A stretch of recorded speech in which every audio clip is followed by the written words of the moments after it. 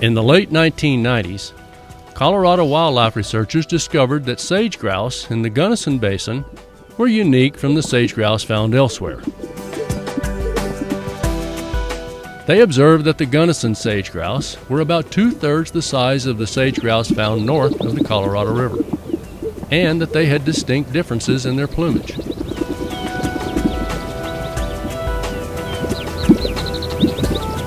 When strutting, the Gunnison males display tail feathers that have more distinct white barring than the other grouse, and they have longer filoplumes, the wispy feathers tossed back over their necks.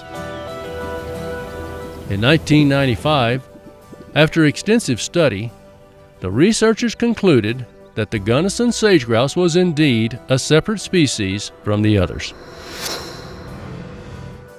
Gunnison sage grouse once ranged throughout southwestern Colorado and into parts of Utah and New Mexico.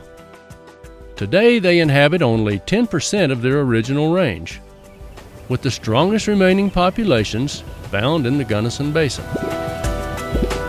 In 2000, due to their declining numbers, Gunnison sage grouse were designated as a candidate for listing under the Endangered Species Act. To assure the long term survival of the species and to help remove them from listing consideration, Colorado Parks and Wildlife and other state and federal agencies joined forces to create a range wide conservation plan. The plan was designed to protect, enhance, and conserve the species. Researchers estimate the population numbers by counting the birds on known leks during the spring breeding season. Later, the researchers locate the broods using radio telemetry.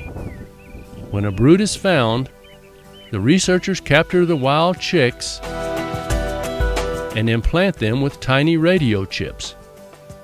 In conjunction with the range wide plan, Colorado Parks and Wildlife is studying the possibilities of bolstering wild populations with chicks reared in captivity.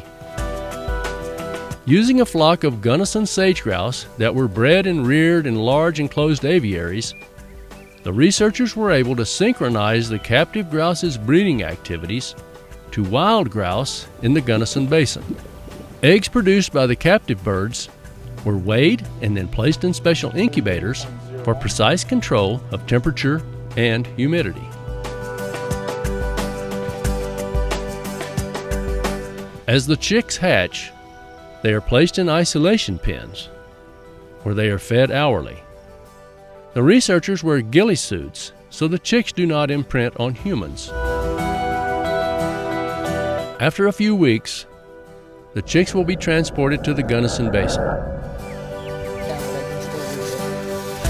where they will be fitted with radio implants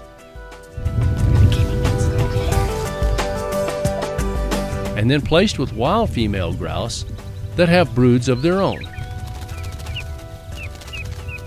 While the success of the captive breeding and release program is yet to be determined, the study has revealed that the wild females readily adopt the captive reared chicks as if they were their own.